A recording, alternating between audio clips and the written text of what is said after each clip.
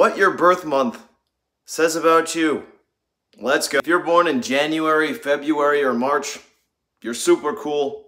You're awesome. Everyone loves you. Everyone always wants to hang out with you. If you're born in April, May, or June, you are the most amazing person ever. You're super tall, super rich, super handsome, or pretty, or whatever. You're just absolutely phenomenal. If you were born in July, August, or September, you're extremely annoying. You're the person no one wants to hang out with. You're the person that gets left out of the friend group. You're that annoying person that tries too hard to get into the friend group, and no one really likes you. And if you were born in October, November, or December, I'm sorry, but you're literally the most irrelevant people. No one really cares about you. Have a good one.